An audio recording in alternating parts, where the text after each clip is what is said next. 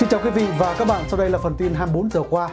Bản tin ngày hôm nay sẽ gồm có một số tin chính như việc Hoa Kỳ phủ quyết văn kiện kêu gọi ngừng bắn ở Gaza của Hội đồng Bảo an Liên Hợp Quốc. Trong khi đó, hàng ngàn người biểu tình ở Yemen để thể hiện tình đoàn kết với người Palestine ở Gaza. Và Đài Loan phát hiện kinh khí cầu của Trung Quốc ngoài khơi, lo ngại có thể can thiệp bầu cử. Ngoài ra, trên như cũng có một số tin đáng chú ý khác. Mời quý vị và các bạn cùng theo dõi sau đây. Thưa quý vị và các bạn, Hoa Kỳ phủ quyết dự thảo nghị quyết của Hội đồng Bảo an Liên Hợp Quốc kêu gọi lập tức ngừng bắn tại Gaza, cho rằng văn kiện này xa rời thực tế. Dự thảo nghị quyết do các tiểu vương quốc Ả Rập Thống Nhất đề trình được đưa ra bỏ phiếu tại Hội đồng Bảo an Liên Hợp Quốc vào hôm 8 tháng 12. 13 thành viên Hội đồng Bảo an bỏ phiếu thuận, Hoa Kỳ bỏ phiếu chống và Anh bỏ phiếu trắng. Đặc phái viên Hoa Kỳ tại Liên Hợp Quốc nhận định nghị quyết này vẫn có lời kêu gọi ngừng bắn vô điều kiện. Điều này sẽ giúp Hamas có thể lập lại những gì mà họ đã làm vào ngày 7 tháng 10. Nghị quyết này xa rời thực tế và sẽ không tạo ra thay đổi trên thực địa. Đại diện của Tiểu vương quốc Ả Rập Thống Nhất cho biết chúng tôi vô cùng thất vọng. Thật đáng tiếc khi Hội đồng Bảo an không thể yêu cầu ngừng bắn nhân đạo. Trước cuộc bỏ phiếu của Hội đồng Bảo an thì ông Guterres khẳng định không bao giờ có thể lấy hành vi tàn bạo mà Hamas gây ra để biện minh cho đòn trừng phạt tập thể đối với người dân Palestine. Tổng thư ký Guterres đã tìm kiếm một lệnh ngừng bắn nhân đạo để ngăn chặn thảm họa có thể gây ra những hậu quả không thể khắc phục đối với dân Palestine và toàn bộ Trung Đông. Tuy nhiên thì một số nỗ lực nhằm thông qua nghị quyết kêu gọi ngừng bắn trước đây không thành công. Quân đội Do Thái dường như đang tăng cường mạnh mẽ ở các cuộc tấn công vào Gaza, đánh dấu một khả năng mở rộng mới của cuộc chiến và với tình trạng các bệnh viện tràn ngập và lương thực cạn kiệt. Liên Hợp Quốc đang cảnh báo rằng Gaza đang đứng trước bờ vực sụp đổ xã hội hoàn toàn. Quân đội Do Thái cho biết họ đã tấn công 450 mục tiêu ở Gaza trong vòng 24 giờ tính đến hôm thứ Sáu. Con số này gấp đôi những gì họ thường đưa tin kể từ khi thỏa thuận ngừng bắn đạt được với Hamas kết thúc vào tuần trước. Ở những nơi khác trong cùng thành phố thì những người Palestine bị buộc phải rời bỏ nhà cửa để đến tá túc trong các lều trại. Nhiều người sợ hãi và lo lắng cho tương lai. Đại đa số người dân Gaza đã trở thành vô gia cư do chiến tranh. Trong khi đó thì ở Do Thái, số người thiệt mạng cũng đang tiếp tục gia tăng. Một đám tang của một người lính Do Thái 25 tuổi thiệt mạng trong cuộc giao tranh và cũng là con trai của một bộ trưởng trong nội các chiến tranh của Do Thái. Tính đến thứ Sáu thì có khoảng 100 binh sĩ Do Thái đã thiệt mạng. Hamas nói con trai của bộ trưởng đã bị giết bởi một quả bom được gài vào một trong những đường hầm của họ. Nhóm khủng bố này cũng đưa tin hôm thứ Sáu rằng một con tin đã thiệt mạng trong một vụ việc riêng biệt cho nỗ lực giải cứu thất bại của Do Thái. Trong khi đó, đã có hàng nghìn người xuống đường biểu tình tại thủ đô Sanaa của Yemen vào hôm thứ Sáu để thể hiện tình đoàn kết với người Palestine ở giải Gaza. Những người biểu tình mang theo những lá cờ Palestine lớn và dơ súng khi hô khẩu hiệu thể hiện sự ủng hộ của họ đối với người Palestine. Người biểu tình cho biết họ sẵn sàng tuần hành tới Jerusalem Chúng tôi sẵn sàng đến nhà thờ Hồi giáo bằng tiền, vũ khí và máu của mình. Đại diện của nhóm Houthi đã lên án cuộc chiến ở Gaza, cuộc chiến mà theo họ diễn ra trong bối cảnh quốc tế im lặng, sự đồng lõa của Liên Hợp Quốc và sự thông đồng của các chế độ phương Tây do Mỹ lãnh đạo. Thưa quý vị và các bạn, ông Putin thông báo sẽ tái tranh cử vào năm 2024 sau khi Hội đồng Liên bang Nga ấn định thời gian tổ chức bầu cử tổng thống. Sau buổi lễ nhân ngày anh hùng Tổ quốc tại Điện Kremlin, Trung tá Artem Hoga, chỉ huy tiểu đoàn Sparta và lãnh đạo Hội đồng Nhân dân Donetsk do Nga bổ nhiệm, hỏi Tổng thống Putin liệu ông có tái tranh cử vào năm sau hay không. Ông cho biết tôi sẽ tranh cử Tổng thống Liên bang Nga. Nhiệm kỳ hiện tại của ông Putin dự kiến kết thúc vào ngày 7 tháng 5 năm 2024. Nếu giành chiến thắng trong cuộc bầu cử năm sau, ông Putin sẽ giữ chức Tổng thống Nga đến năm 2030. Theo quy định của luật pháp Nga, sau khi Hội đồng Liên bang ấn định ngày tổ chức bầu cử, các ứng cử viên phải nộp hồ sơ cho Ủy ban bầu cử Trung ương trong vòng 20 đến 25 ngày, tùy vào việc người này tự ứng cử hay đại diện cho một đảng. Kết quả của các cuộc thăm dò cho thấy ông Putin nhận được sự ủng hộ từ khoảng 80% người dân Nga. Bộ Quốc phòng Đài Loan vào ngày hôm qua cũng cho biết 12 máy bay chiến đấu của Trung Quốc và một kinh khí cầu đã vượt qua đường trung tuyến nhạy cảm của eo biển Đài Loan, làm gia tăng căng thẳng khoảng một tháng trước cuộc bầu cử tổng thống của hòn đảo này. Kinh khí cầu được phát hiện cách thành phố Keelung phía bắc của Đài Loan 101 hải lý về phía tây nam và di chuyển về phía đông trong khoảng 1 giờ, băng qua eo biển trước khi biến mất.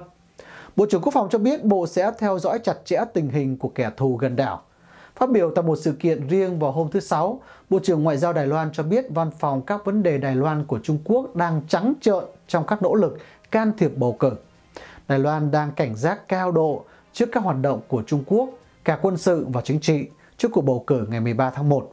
Đặc biệt là điều mà Đài Bắc coi là nỗ lực của Bắc Kinh nhằm can thiệp vào cuộc bầu cử để khiến cử tri bỏ phiếu cho ứng cử viên mà Trung Quốc ưa thích.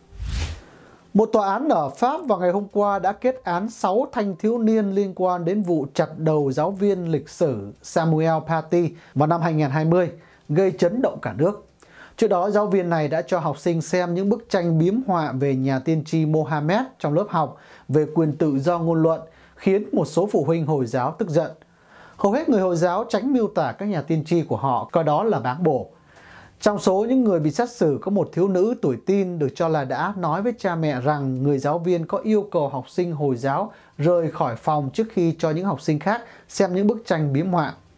Tòa án kết tội thiếu nữ này vì đã đưa ra cáo buộc sai sự thật và bình luận vu khống vì người ta xác định rằng thiếu nữ này không có mặt trong lớp vào thời điểm đó. Những thanh thiếu niên khác bị kết tội liên quan đến việc tham gia vào một âm mưu giết người đã được tính toán trước và giúp chuẩn bị một cuộc phục kích. Giáo viên Pate 47 tuổi, bị giết bên ngoài trường học ở ngoài ô Paris bởi một kẻ tấn công 18 tuổi gốc chạy nha. Kẻ này đã bị cảnh sát bắn chết ngay sau vụ tấn công. Bản án nặng nhất được trao cho một thanh thiếu niên chính thức bị tuyên án 6 tháng tù. Mặc dù nhân vật này có thể chấp hành án này tại nhà dưới sự giám sát điện tử.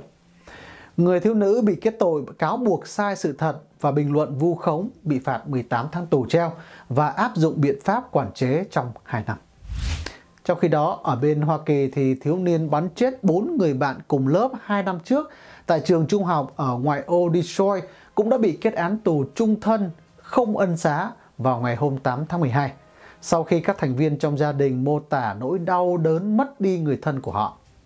Tin cho biết Ethan Kumley nổ súng vào ngày 30 tháng 11 năm 2021 bằng khẩu súng ngắn bán tự động mà cha của nhân vật này đã mua làm quà Giáng sinh vài ngày trước đó, khiến 6 học sinh khác và một giáo viên bị thương. Cha mẹ của Crumley cũng đã bị buộc tội ngộ sát không tự nguyện liên quan đến vụ nổ súng trong một trong những vụ án đầu tiên ở Hoa Kỳ nhằm buộc cha mẹ phải chịu trách nhiệm về vụ xả súng ở trường học của con họ. Tại phiên điều trần tại tòa án quận Oakland vào hôm thứ Sáu thì người thân của các nạn nhân đã mô tả cuộc đấu tranh hàng ngày của họ để vượt qua vụ nổ súng và thúc giục thẩm phán phải nhốt Crumley đến hết cuộc đời. Trong phiên điều trần vào tháng 8 để xác định liệu nhân vật này có đủ điều kiện để được tạm tha hay không, các công tố viên đã đưa ra bằng chứng cho thấy Crumley đã đưa ra một số tuyên bố lạnh lùng trước vụ tấn công, bao gồm một đoạn ghi âm trong đó nhân vật này dự đoán rằng sẽ rất vui khi bắn các bạn cùng lớp của mình. Các công tố viên đã cáo buộc cha mẹ của nhân vật này đó là James và Jennifer Conley đã sơ suất nghiêm trọng mặc dù biết con trai họ còn quá nhỏ và gặp khó khăn trong việc sở hữu một khẩu súng nhưng vẫn đưa cho con một khẩu súng. Thưa quý vị, Chủ tịch Điền Kinh Thế giới cho biết các vận động viên Nga và Belarus sẽ không được phép tranh tài ở Thế vận hội Paris. Mặc dù Ủy ban Olympic quốc tế đã dọn đường vào hôm thứ Sáu cho các vận động viên của các nước này thi đấu với tư cách là trung lập. Người Nga và người Belarus ban đầu đã bị cấm thi đấu quốc tế sau cuộc xâm lược Ukraine của Nga vào năm ngoái. Tuy nhiên thì vào tháng 3, Tổ chức này đã đưa ra bộ khuyến nghị đầu tiên cho các liên đoàn thể thao quốc tế để cho phép các vận động viên Nga và Belarus trở lại thi đấu và kể từ đó họ đã làm như vậy trong hầu hết các sự kiện. Trong số 4.600 vận động viên trên toàn cầu đã đủ điều kiện tham gia Thế vận hội từ ngày 26 tháng 7 đến ngày 11 tháng 8, có 8 người là người Nga và 3 người có hộ chiếu Belarus. Ngay cả khi trước khi Nga xâm chiếm Ukraine thì quốc gia này đã bị thể thao ruồng bỏ vì đã thực hiện các chương trình doping do nhà nước tài trợ dẫn đến lệnh cấm tham gia các cuộc thi bao gồm cả Thế vận hội. Hàng chục cư dân Chennai được nhìn thấy lội qua những con đường và đường phố ngập lụt vào hôm thứ Sáu, 4 ngày sau khi bão Michao đổ bộ vào bờ biển ở bang Tamil Nadu, phía nam của Ấn Độ. Ít nhất 14 người hầu hết trong số họ ở Chennai và bang Tamil Nadu đã thiệt mạng trong lũ lụt do mưa xối xả bắt đầu từ đầu tuần. Người dân đã phàn nàn về tình trạng thiếu lương thực và không có điện khi thành phố phải đối phó với hậu quả của lốc xoáy. Các nhà chức trách cho biết một số khu vực trũng của bang vẫn bị ngập lụt và các cơ quan chính phủ cũng như tình nguyện viên đang cung cấp đồ tiếp tế cho những người bị mắc kẹt trong nhà của họ tại các khu ổ chuột và các khu vực khác. Bộ trưởng Quốc phòng của Ấn Độ cũng đã đến thăm Chennai vào hôm thứ Năm và thông báo New Delhi sẽ cấp khoản thứ hai trị giá 54 triệu đô la cho vùng này để giúp quản lý thiệt hại. Ông cho biết chính phủ liên bang cũng đã phê duyệt một dự án trị giá 5,6 tỷ rupee để quản lý lũ lụt ở Chennai. Thưa quý vị, Hunter Biden, con trai của Joe Biden, người đang lãnh đạo đất nước Mỹ, đã bị truy tố với cáo buộc tìm cách né khoản thuế lên đến 1 triệu tư trong giai đoạn từ năm 2016 đến năm 2019. Trong cáo trạng 56 trang nộp lên tòa án ở tiểu bang California vào hôm 7 tháng 12, công tố viên đặc biệt David Weiss cho rằng Hunter Biden bị cáo buộc 9 tội danh liên quan đến hành vi trốn thuế và có thể lĩnh 17 năm tù nếu bị kết tội. Theo cáo trạng thì Hunter kiếm được nhiều tiền với vai trò thành viên hội đồng quản trị một tập đoàn công nghiệp Ukraine và quỹ đầu tư tư nhân nước ngoài. Hunter kiếm được hơn 7 triệu đô la từ năm 2016 đến năm 2020 và sử dụng số tiền này để tiêu xài cá nhân, phục vụ lối sống xa hoa nhưng không đóng thuế. Hunter vào hồi tháng 10 đã không nhận tội ở tiểu bang Delaware liên quan đến ba cáo buộc nghiêm trọng bắt nguồn từ việc mua súng lục vào năm 2018 dù đang nghiện ma túy. Hunter bị cáo buộc sở hữu súng trái phép và hai cáo buộc khai man trên mẫu đơn mua súng rằng anh ta khi đó không sử dụng ma túy. Ba tháng trước đó, thỏa thuận nhận tội giữa Hunter Biden và công tố viên Weiss đã thất bại. Theo thỏa thuận, nếu nhận tội, Hunter sẽ được xóa bỏ cáo buộc liên quan đến súng và nhận hai tội về thuế, tránh phải ngồi tù. Những cáo buộc mới đồng nghĩa Hunter có thể sẽ bị xét xử hai lần trong năm tới, khi gần như chắc chắn Joe Biden sẽ ân xá cho con trai cưng của mình. Mặc dù đến giờ phía Bạch Ốc vẫn cố tình tránh trả lời khi phóng viên đưa ra câu hỏi liên quan đến việc ân xá. Và trước khi kết thúc chương trình ngày hôm nay thì thưa quý vị và các bạn, mùa Giáng sinh đã bắt đầu với một ngôi sao rực lửa ở Guatemala vào hôm 7 tháng 12 khi hàng trăm người tụ tập để tham dự buổi lễ mang tính biểu tượng thiêu rụi ma quỷ trên đường phố Antigua. Vào ngày 7 tháng 12 hàng năm thì người Guatemala có tục lệ đốt lửa để đốt hình nộm bằng bìa cứng của quỷ nhằm tượng trưng cho sự thanh tẩy. Sự kiện này diễn ra vào đêm trước ngày lễ Đức Trinh Nữ vô nhiễm nguyên tội Vài phút trước bình minh, hàng trăm người đã tập trung trên các đường phố ở khu phố truyền thống La Conception để xem việc đốt cháy ma quỷ như một phần của truyền thống bắt đầu từ thế kỷ thứ 16. Những con quỷ với kích cỡ khác nhau và pháo bị đốt khắp Guatemala cùng với rác thải từ các ngôi nhà địa phương như một dấu hiệu cho thấy lễ Giáng sinh đang về. Và đó cũng là bản tin cuối kết thúc cho chương trình ngày hôm nay. Chân Nhiên xin cảm ơn phần theo dõi của quý vị và các bạn. Mong được ủng hộ bằng cách giới thiệu và share video này đến với nhiều người. Mong các bạn trở lại và đón xem nhiều các chương trình khác của kênh mỗi ngày. Và quý vị và các bạn cũng có thể kết nối với Trần Như qua Facebook với tên Trần Như Channel. Xin chào và chúc một ngày thật nhiều niềm vui.